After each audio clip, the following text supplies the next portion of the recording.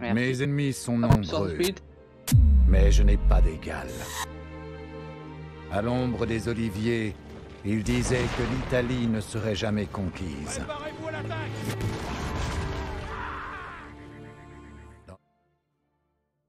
Bonjour à tous, c'est Invincible Iron Man.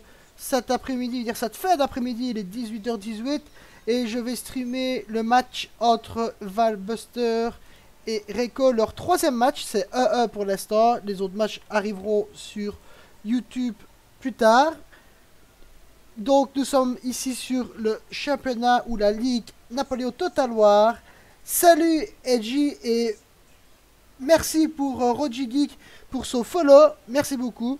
Donc euh, Reiko va jouer l'Espagne face à Valbuster qui jouera également l'Espagne sur colline prussienne. Celui qui gagnera ce match sera déclaré ben, vainqueur de, leur match, de leur BO3. C'est le dernier match.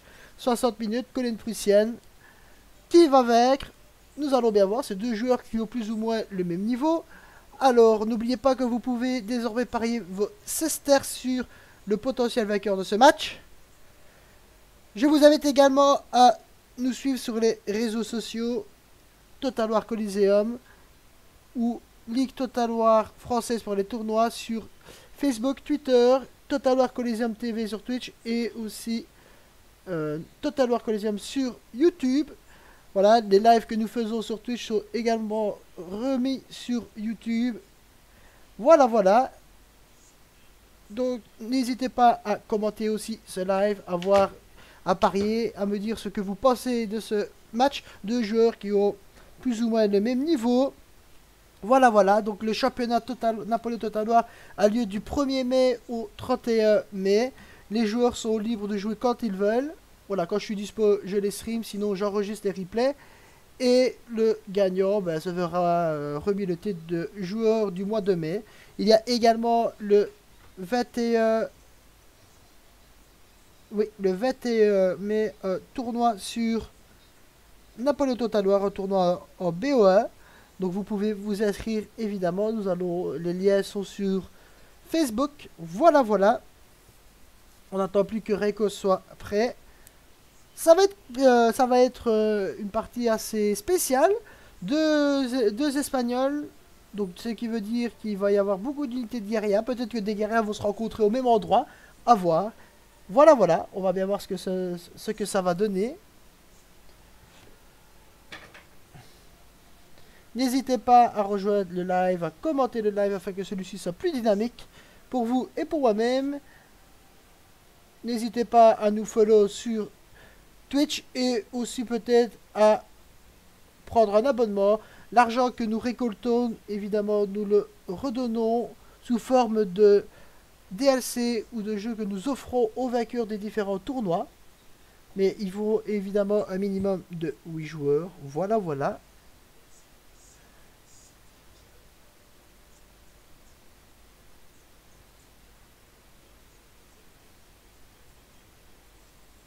Voilà, ils sont prêts à en découdre. La partie se lance. Qui va vaincre Nous allons le savoir d'ici 60 minutes maximum. Maximum. Je vais commenter la composition de Valbuster qui a pris l'Espagne. Alors, je vais directement commencer par les unités de guérilla, à savoir euh, le Nusares de Val de Penas. Un volontaire de la Corogne, c'est une infanterie de ligne. Euh, Lanceros de Castilla gradé de 3, donc il a un peu plus de morale et de meilleurs stats au corps à corps. Ainsi que les Cazadores volontaires de Madrid, ce sont des chasseurs à cheval. Alors au niveau de son armée de base, il a pris deux Lanceros qu'il a gradé de 1. Il a pris deux infanteries légères, 3, 4 infanteries légères gradées de 1. Et il a pris deux gardes gradés de 1. Et 1, 2, 3, 4, 5, 6... Ah non, 1, 2, 3, 4 fusiliers gradés de 1 et 2 milices provinciales aussi gradées de 1. A voir comment il va gérer la milice provinciale. Et il y a encore un Lanceros à droite. Et il a pris un général 3 étoiles pour supporter ça. Donc, euh, avec des lignes gradées et un bon général derrière, je pense que ça devrait tenir au moral. Maintenant, attention. Pas beaucoup de lignes d'infanterie. Maintenant, en face, il joue contre l'Espagne également. À voir qui va gagner. On voit qu'il place ses unités d'infanterie sur la colline, euh, un peu partout, dire, euh, dans les forêts. À mon avis, il va vouloir ralentir l'avancée de son adversaire. Peut-être que Reiko en face va nous faire la même tactique étant donné qu'il joue également l'Espagne. À voir, on voit qu'il ah il a mis toutes ses troupes comme ceci. Je crois qu'il va pêcher directement à la colline. C'est son objectif, ça se voit directement. Nous allons voir ce que ça va donner.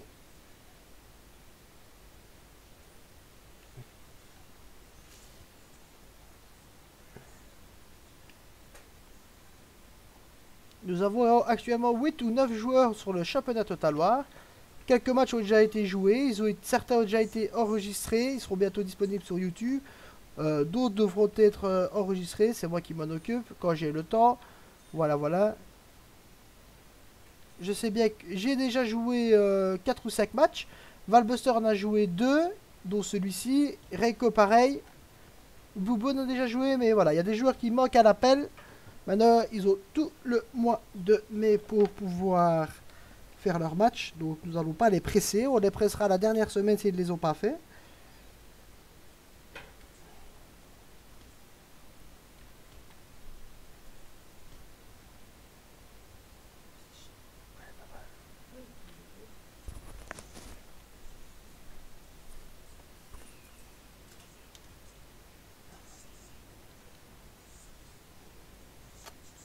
On attend qu'ils lancent le décompte pour pouvoir engager leurs troupes. N'oubliez pas de parier vos cesters sur le potentiel vainqueur de ce match. le vainqueur ben, remportera ce BO3.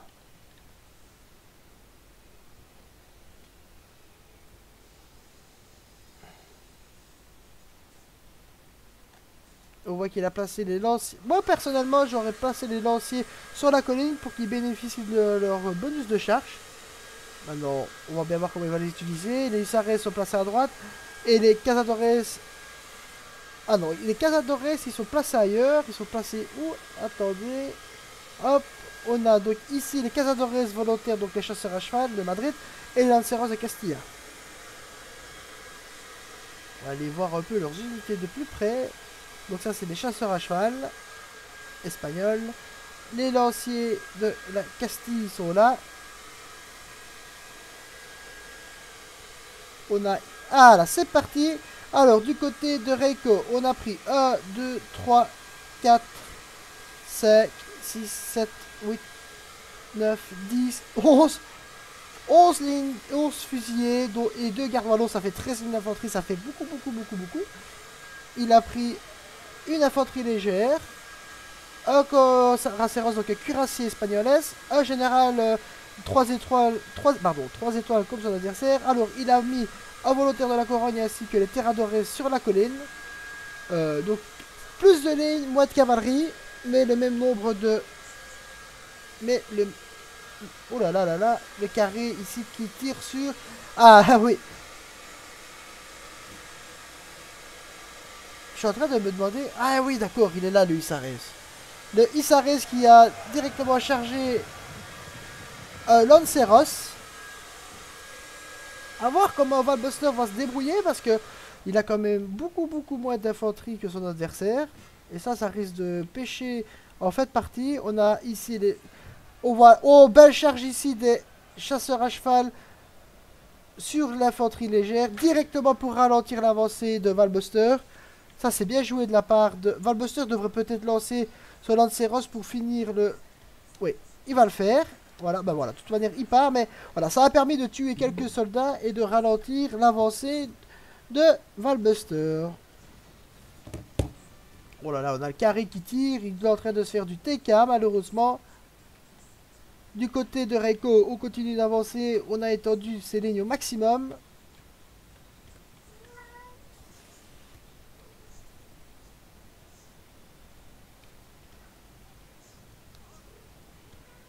Va.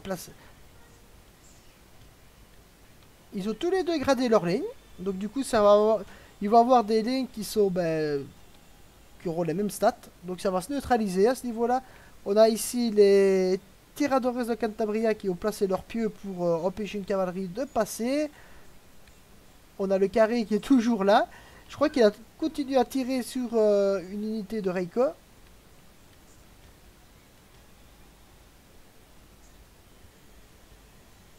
Alors on a ici l'infanterie légère qui s'est placée et qui va directement tirer dans la colline. Il va falloir les avancer un peu plus. Évidemment on est sur la colline donc il faut les avancer. À mon avis Reiko va essayer de flanquer son adversaire. Alors euh, la cavalerie ici, euh, à mon avis elle a été vue vu que l'infanterie tout près. Je pense que Valbuster va peut-être essayer d'aller chercher le général adverse. En tout cas, ah là là, micro-gestion ici qui pêche un peu. Il devra il En fait, il ne fait aucun dégât avec ses, infanteries de ligne. Il m'a entendu, il avance ses lignes. Comme ça, il va pouvoir faire du dégât sur les, lignes adverses. C'est un peu mieux. C'est pas encore ça, mais c'est un peu mieux. J'ai entendu une cavalerie avancer ou charger. On a le Lanceros qui est dans le fond. Il a oublié, Valbuster a oublié son Lanceros. Salut Gotis, salut à toi. Petit live aujourd'hui. Alors, il envoie sa milice provinciale pour prendre les balles. Bon, la milice provinciale est en train de prendre les balles de Reiko ainsi que les balles des infanteries légères. Alors, on a eu la charge ici. Euh, Valbuster qui a réussi à charger les fusils de ligne. Bon, un seul s'est mis en carré, les deux autres non. On a en face euh, ben, les deux Garwalo qui vont peut-être pouvoir faire le ménage. À voir. Les milices provinciales servent de bouclier. On a ici les Casadores qui vont pouvoir avancer. On a les cuirassiers qui se déplacent à l'arrière. On a une nouvelle charge. Bien joué ici la charge.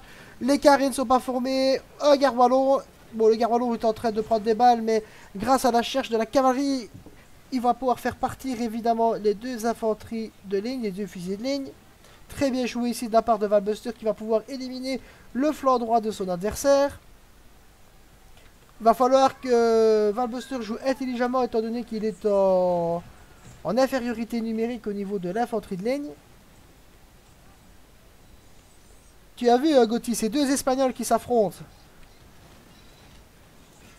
On a ici une charge de Lanceros qui va sûrement aller taper dans les Terradores. Les Terradores qui sont focus sur la fusée ils n'ont pas eu le temps de tirer sur les Lanceros. La charge... Bon, la charge est à... Va pas avoir le bonus de charge étant donné... Mais bien joué quand même. Oui, c'est une, guerre civile espagnole. Drôle de choix de prof, dire... Euh, pas drôle de choix, mais... Voilà, les guerres civiles, je suis pas un grand fan, mais voilà. Les, règles euh, permettent les guerres civiles. On voit quand même bien que c'est deux joueurs qui jouent l'Espagne de manière différente. Et ici, ben, le, le grâce à la charge de cavalerie, a réussi à éliminer euh, trois unités de fusiliers de ligne.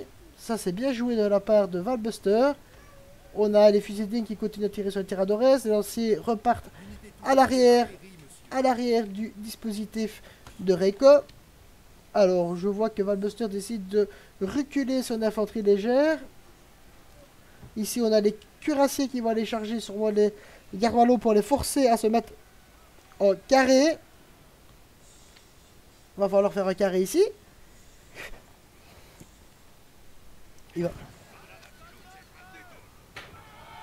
Oh là là Et le carré qui n'a pas été formé, une charge de cuirassier de cavalerie, l'autre qui a fait extrêmement mal et qui va pouvoir faire partir le Garwalo. Mais le Garwalo, malgré le fait qu'il soit ici, qui va sûrement partir en déroute, a quand même éliminé le flanc droit de Reiko. Donc il a fait son travail. Mais c'est dommage d'avoir perdu quand même une garde wallonne de cette manière-là. Alors que s'il avait mis le carré, ben, le cuirassier aurait été neutralisé. Alors on continue la charge. On va aller chercher, je ne sais pas ce qu'il va aller chercher, peut-être des lanciers. On a ici... Euh, Valbuster qui, se positionne de manière plus défensive. On a les cuirassiers qui vont sûrement aller chercher... Euh, ah, les cuirassiers vont aller chercher les autres gardes wallons. On a toujours les lanciers, les lanceros ici qui sont dans les bois cachés. Peut-être pour les utiliser au dernier moment. Alors, est-ce que le carré va être formé cette fois-ci? Une charge dans les bois, c'est pas ce qu'il y a de meilleur. Euh, Oh là là, le cuirassé qui est en train de prendre tarif. Le carré a été formé à temps. Cette fois-ci, le cuirassé va pouvoir être neutralisé. Un Lanceros arrive ici en renfort. On a du coup Reiko qui va peut-être tenter de d'encercler son adversaire.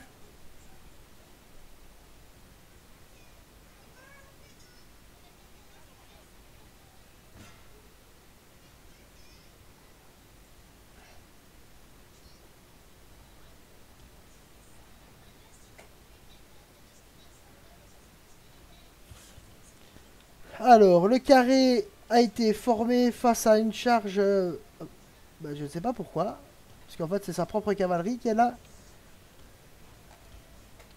Ah, on voit que les Lanceros de Castilla passent derrière le dispositif de Reco. Peut-être aller chercher général. En tout cas, c'est ce que je ferais. Tuer général espagnol, ça serait de lui donner, lui ôter... Euh, euh, ben, au gros, je veux dire que ce serait lui ôter du moral. Ce serait un gros malus pour Reco. Mais ce serait exactement la même chose pour Valbuster s'il venait à perdre son général. Voilà, là le problème ici, on commence à voir un peu le problème ici de Valbuster, c'est que à avoir pris trop peu d'infanterie D, mais il va commencer à se faire encercler. Maintenant il a l'avantage d'avoir de l'infanterie légère qui peut tirer de plus loin, mais il va falloir qu'il tienne bien son adversaire à distance.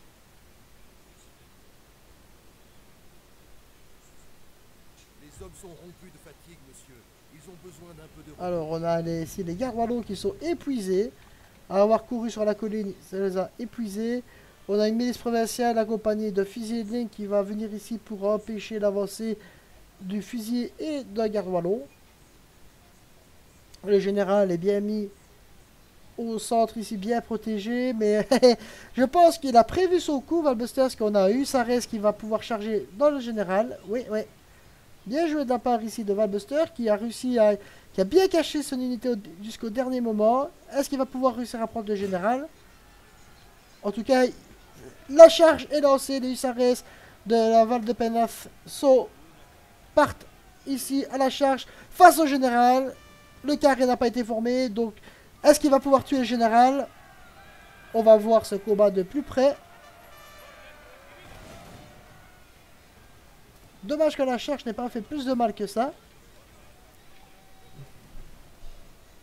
Donc, ici, on n'a pas encore beaucoup de tués du côté du général. On n'en a même aucun. Il le poursuit, mais il ne lui fait aucun dégât. C'est bien dommage. Euh, je ne sais pas ce que Reiko a donné à son général, mais il l'a boosté au niveau de la... Oh là là, par contre, euh, le TK sur son général, face à cette volée du carré, à mon avis, est-ce qu'il va utiliser ce Lanceros pour essayer de rechercher le général. En tout cas, 1-0 pour le général de Reiko ici.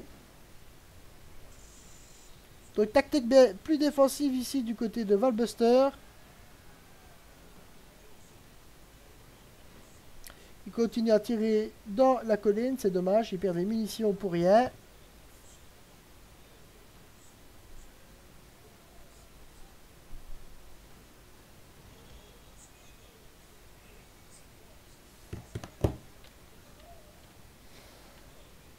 Lanceros s'est placé ici. Maintenant, il va falloir qu'il se. Ah, il est frais, donc ça va. Je pensais qu'il serait euh, fatigué, mais il est frais. Alors, on a une infanterie légère ici de Reiko qui va s'avancer sur les deux infanteries légères de Valbuster. Le problème, c'est qu'ils tirent tous les deux principalement dans le sol. Oula, belle volée ici.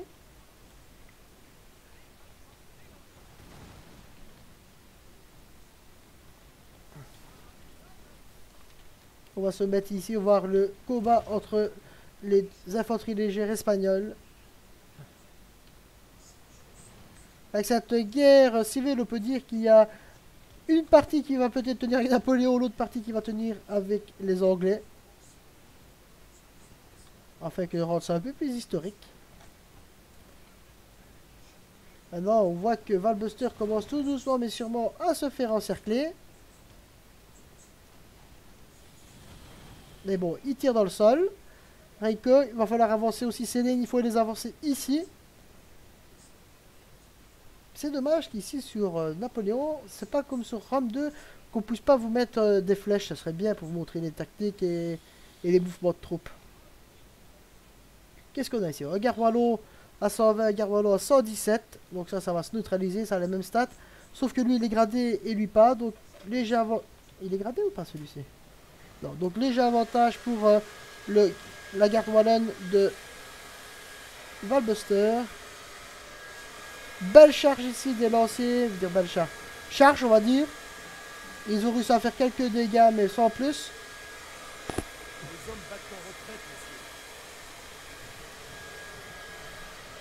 Voilà, les lanciers sont déjà éliminés par les légers et les carrés d'infanterie.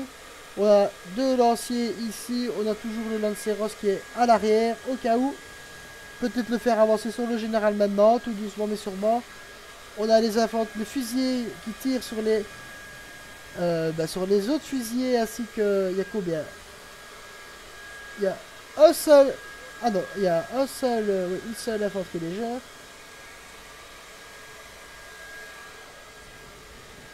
Ça se tire dessus. Euh, Peut-être que Valvester devrait en profiter pour aller flanquer son adversaire ici. Avec l'unité qui est à droite, moi je la déposerai, je la mettrai ici pour flanquer les volontaires de la Corogne. Voilà qui est fait. Oh, bien joué ça. Voilà, rien qu'une volée ici, ça, fait du mal, ça fait du mal à Valbuster. Difficile de dire qu'il va gagner ici, c'est quand même très serré. Quand a un joueur perd euh, une unité, ben, son adversaire en perd une autre. C'est ça le problème des guerres civiles, c'est que ben, vous jouez avec des unités qui ont exactement les mêmes stats, donc ça se neutralise. Alors, moi j'avancerai un peu plus ma ligne et j'enverrai peut-être mon lancer pour euh, provoquer, former, provoquer et former les carrés ici.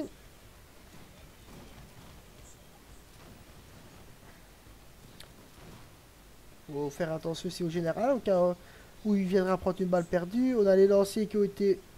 qui repartent à l'arrière. Ouais, parce que les deux fusiliers, euh, surtout celui-ci qui peut se mettre en carré, pas celui-ci, bah, se mettent de manière à ce que le lancier de la guérilla ici ne puisse pas passer.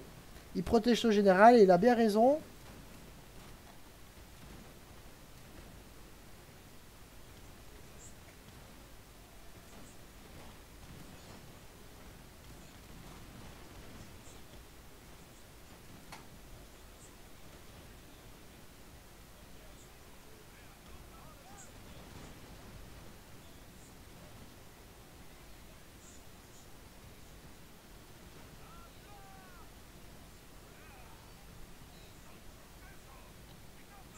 Ici, on a le volontaire la Corogne qui euh, part en déroute. Ils sont plus de 44.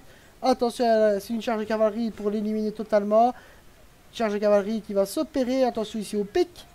On a les deux fusils de ligne sur le flanc gauche de Reiko qui repartent, qui reculent, qui battent en retraite. Dirais une retraite tactique, on va dire. Ah non, on a les lanciers qui vont aller se focus sur les fusils peut-être pour les ralentir. Maintenant, il est déjà trop tard. Ils sont déjà trop hauts. Moi j'irai taper ici dans monteurs de la couronne pour, euh, les empêcher de revenir. On a ici les échanges de tirs entre euh, Garwalo et fusilier face à une milice provinciale et un fusilier. On a Garwalo qui s'avance sur un autre Garwalo et il a pris du dégât parce qu'il était à 120 tout à l'heure. Ouh là là, la charge ici qui va se faire neutraliser par euh, tir de retraite. Voilà, le lancier part en déroute. Une salve et ça part en déroute. Allez, ici, il faut retourner l'unité pour la tirer et flanquer celle-ci. Le lancier est toujours derrière. Ici, ça s'échange. On continue à tirer. On tire principalement dans le sol, mais on tire. Peut-être que envoyer le garde à renfort et... Oui. Ben, on voit ici que... Ouais, on voit euh, que Valbuster, évidemment, il n'a pas pris beaucoup d'unités d'infanterie. Ça, il commence tout doucement à perdre ses unités, ça fond comme neige au soleil. C'est ça le désavantage quand on, prend trop peu d'unités d'infanterie de ligne. Valbuster, euh, ben, ici, se fait tout simplement bien avoir par le fusil de ligne. On a le flanc gauche qui est quand même encore très très très conséquent du côté de Reiko. Il a encore des unités, il a encore trois unités, dont deux à 120 en arrière-garde charge ici de cavalerie sur les gardes wallons. Est-ce que ceux-ci vont voir la charge? Est-ce qu'ils vont pouvoir se mettre en carré? On, va se mettre en haut. Le carré formé. Donc ça ne sert plus à rien de faire charger ces unités. Maintenant, il faut avancer le garde wallon. Alors, on a ici l'infanterie légère qui est toujours là, celle de Reiko. Alors, avantage ici hein, pour Reiko qui est au-dessus de la colline, qui, a, qui lui a bonus au niveau euh, du tir. La milice provinciale qui est toujours là. Alors, le carré euh, le carré. Ah non, le carré a été. Euh, non, c'est pas là. Où est le... Ah oui, le carré est là. Le carré est toujours là. On a ici l'infanterie légère de Reiko qui part en déroute. Mais ils auront fait un très bon travail. On voit que l'équilibre des forces euh, ben, se rééquilibre tout doucement. Difficile de dire qui va gagner dans ce match. Franchement, j'ai du mal à savoir.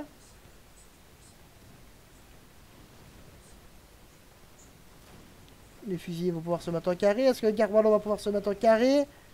Est-ce qu'il a vu la charge? Un petit coup de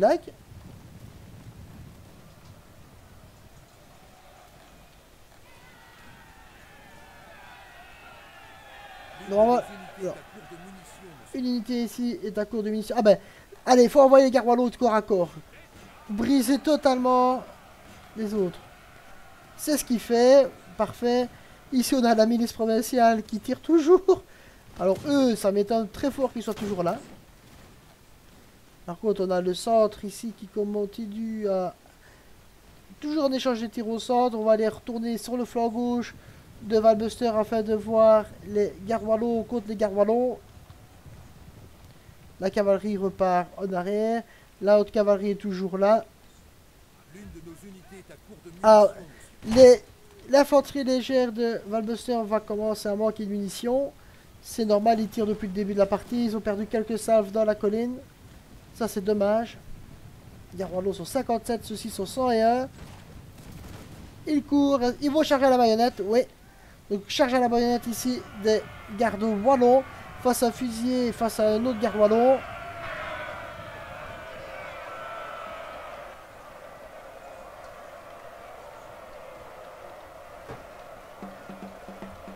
Et bien supporté par les Lanceros qui vont aller taper.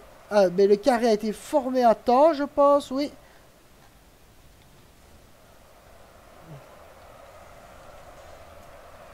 Les deux gardes se neutralisent, même si Valbuster avait gradé de 1.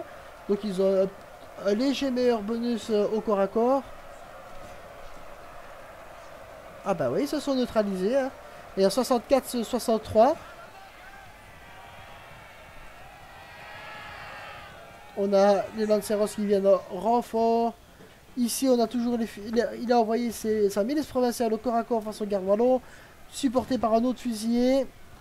On a ici les, une, belle charge d'infanterie. Euh, une belle charge des fusiliers de Reiko pour aller, qui a réussi à neutraliser l'autre fusilier de Valbuster. Le général part en arrière.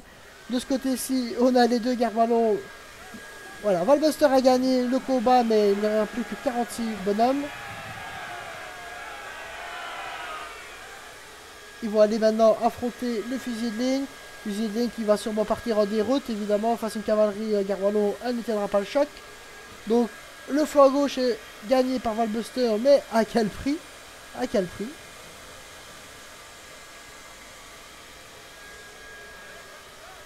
Le général vient en renfort pour donner un petit coup de morale à mon avis. De ce côté-ci, on a, ben, je pense que les infanteries légères, elles ont été éliminées. Oui, et elles n'ont plus de munitions. De ce côté-ci, on a un fusilier, deux fusiliers qui affrontent euh, ben, des fusiliers.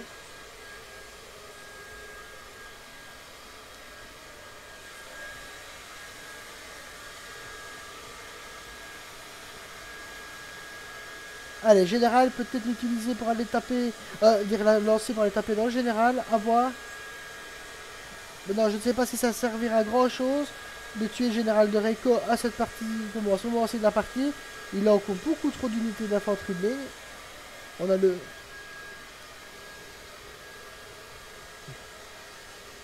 On va les charger ici dans des fusillés. 41 ne savent pas carré. Ils ne sont plus assez nombreux. Belle charge.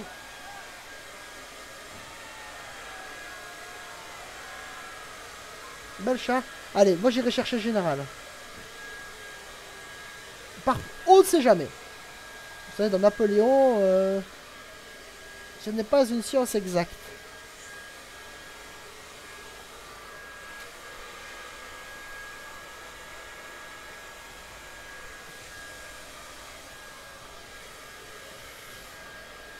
Oh, les danseurs de Valbuster qui se sont mis au mauvais endroit, pourquoi?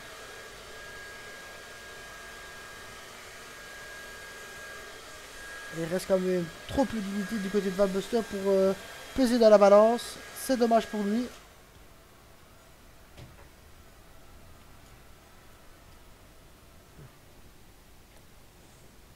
On a... Et il s'arrête de la Val de Penas qui reviennent dans la partie. Ils étaient cachés, ils ont pu récupérer.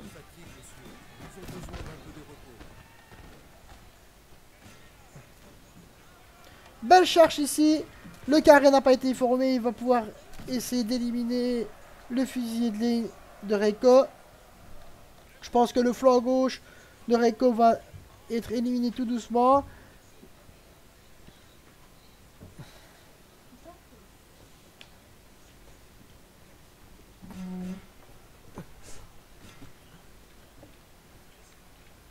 Ouais. Alors, est-ce que c'est... Les fusils sont secoués, sont fluctuants, à mon avis, ils vont partir en déroute. Ouais. Bien joué. Très belle charge ici de la cavalerie, les hussards de Val-de-Penas, donc euh, la guérilla, qui a bien fait son travail aussi. Il se défend quand même très très bien. Valbuster. Malgré le fait qu'il ait moins d'unités de son adversaire, ben, il a fait des bonnes charges de cavalerie. Et il a bien utilisé son infanterie. Maintenant, voilà, le nombre étant là. Alors, comment ça va se jouer maintenant? Il reste combien d'unités Il reste 1, 2, 3, 4, 5. Oui, il reste 6 unités d'infanterie ligne, dont 2 à 120. Bon, ça fait beaucoup pour Reiko et le général. Du côté de Valbuster, on a un fusil de ligne, deux fusils de ligne, mais vachement entamés. Et ici, on a un garde wallon et les deux cavaleries. Charge des hussards de la Vade de Penas.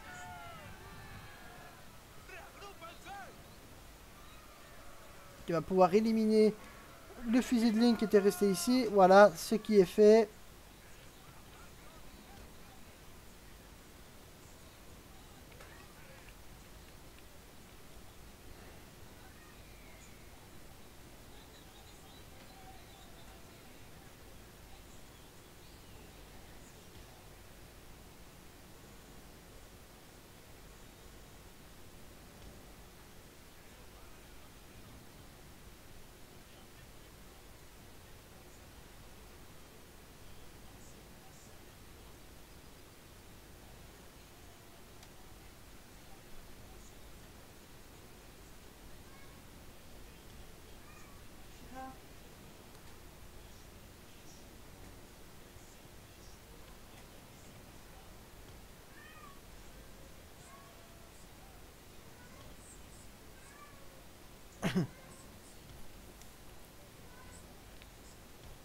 On a Reiko qui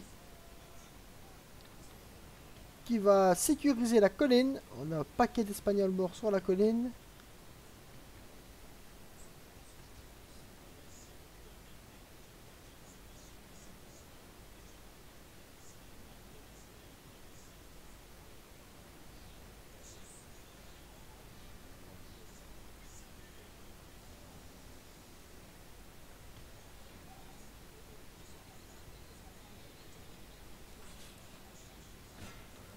Les gardes wallons de Valbuster qui vont se positionner, mais ceux de Reiko seront... Bon, ils vont tirer dans la colline, mais ils seront positionnés avant. Il reste deux cavaleries du côté de Valbuster. Aucune cavalerie, à part le général du côté de Reiko.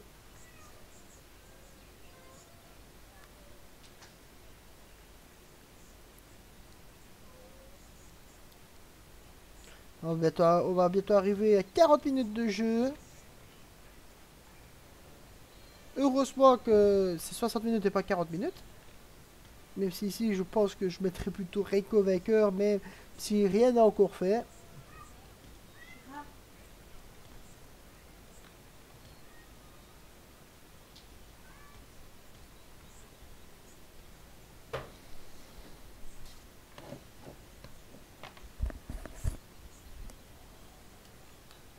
Maintenant, il va falloir continuer à reculer de trop, Val, va falloir...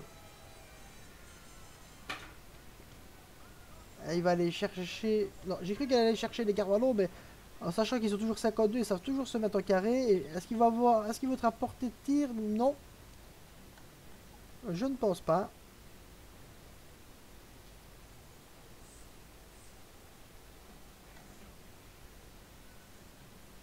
Allez, messieurs. Faut faire quelque chose maintenant. C'est la fin de la partie. Faut essayer de d'engager un peu le combat et de finir cette partie. Elle avait bien démarré, mais là, elle retombe un peu comme un soufflé.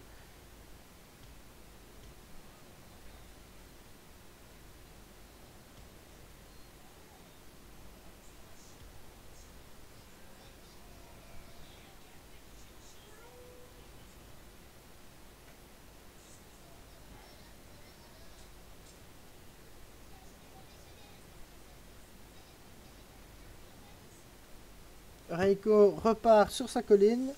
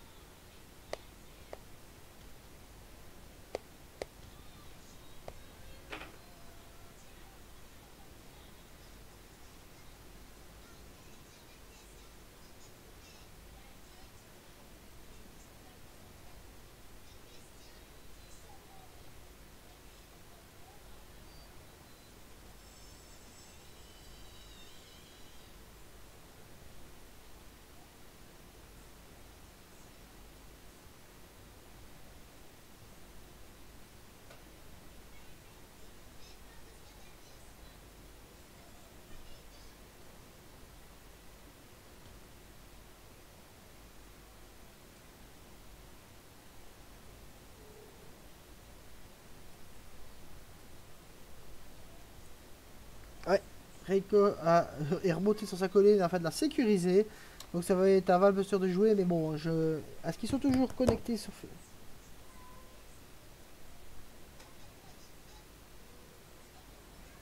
Alors, je sais pas s'ils sont toujours là. J'irais bien leur dire de faire quelque chose, parce que sinon ça va pas être plaisant pour commenter cette fête game. Aucun des deux ne va vouloir avancer, même si euh, je pense que Valbuster ne saura pas faire des gros dégâts à son adversaire.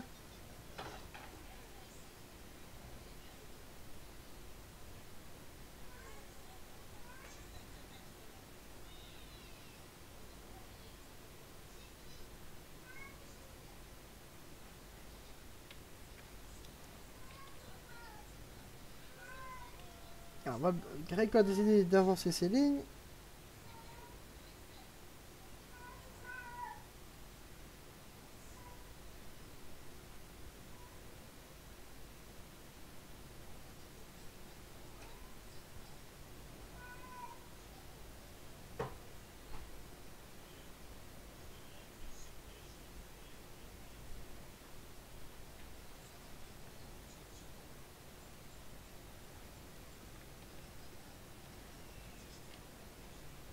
La Reiko qui fait avancer ses unités sur son côté droit.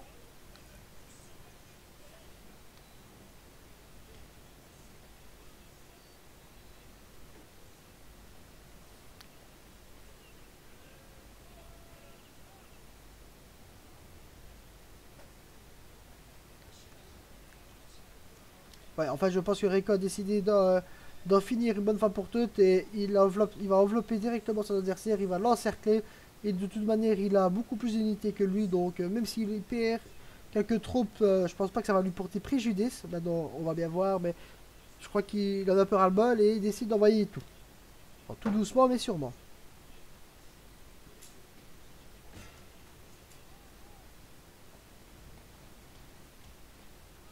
L'une de nos unités est à court de munitions, monsieur.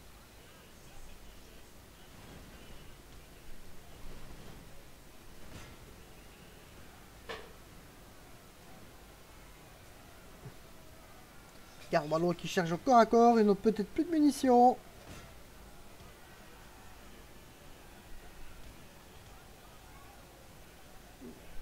On a ici les fusils de ligne qui n'ont certainement plus de munitions non plus.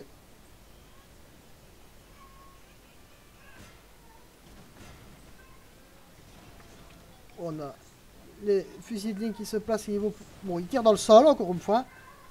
Aïe, aïe, aïe. Il faut bien faire attention à savoir où on tire. Faut bien regarder le relief. On a ici une charge de cavalerie, les Lanceros vont essayer d'aller taper dans les gardes wallons.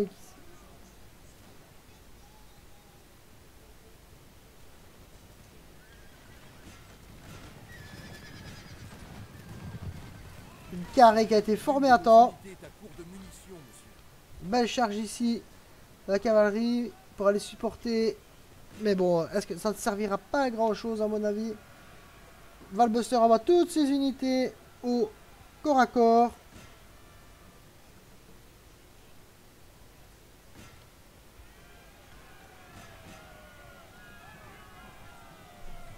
Ici, nouvelle charge des hussards qui va aller taper dans les fusils.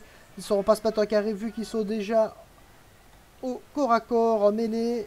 On a les gardes wallons Maintenant, retraite, qui ont réussi à avancer. On se dirige tout droit vers une victoire du coup de Reiko.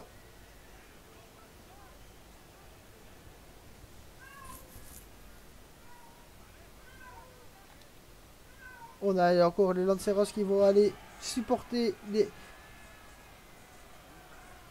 les fusillés. Oui, le général est ici. Le général charge les fusillés. Celui-ci va pouvoir se mettre en carré. Tout est perdu, monsieur. Ouais, donc voilà. Et Reiko remporte euh, ce troisième match et gagne donc son duel face à Valbuster. 2 à 1 pour Reiko qui remporte du coup les points ici. Bien joué de la, part de Reiko, bien joué aussi à Valbuster qui se sera bien battu malgré tout.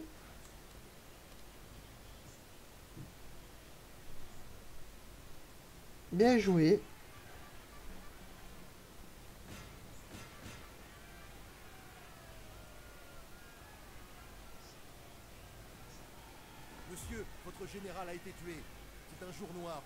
Ah, le général ici de Valbuster a été tué. Voilà, victoire de Reiko. Je pense qu'ici c'est totalement fini. Reste quoi? Il ne reste rien du. Bon alors il reste une cavalerie. Mais... Non, il reste... Alors, 1743 unités déployées pour Valbuster. 1998 pour Reiko. Donc euh, quand même 250 soldats de plus. 1322 tués pour Va- Valbuster. 1330. Valbuster fait quand même de très bons... Des très bonnes stats malgré tout. Malgré le fait qu'il soit en infériorité, il a quasi les mêmes stats que son adversaire. Mais la victoire est à Reiko. Félicitations à lui. Une belle victoire. Je vais passer sur le menu, sur l'image de fait. Je vais aller trouver les deux